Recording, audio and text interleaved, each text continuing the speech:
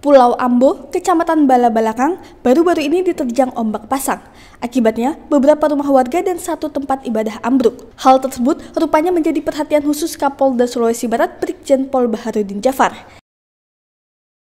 Setelah mengumpulkan para pejabat utama untuk meruntingkan kejadian tersebut, Kapolda pun langsung menyalurkan berbagai bantuan kemanusiaan untuk masyarakat di Pulau Ambo. Bantuan kemanusiaan tersebut dititipkan langsung kepada Dirpol Airut Kombes Pol Dede Ruhiat Junaidi dan jajarannya untuk disalurkan langsung kepada korban yang terdampak bencana ombak pasang. Kabit Humas Sulawesi Barat AKBP Masura mengatakan bantuan kemanusiaan ini sioknya akan disalurkan langsung oleh Kapolda. Namun karena ada kegiatan yang juga sangat penting sehingga diwakilkan untuk sementara.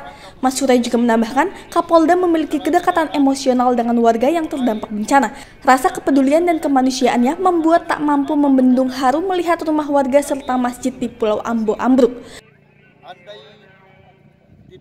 Saat ini, personil terus di-standby-kan dengan cara digilir untuk memberikan pelayanan kepada masyarakat di Pulau Ambo.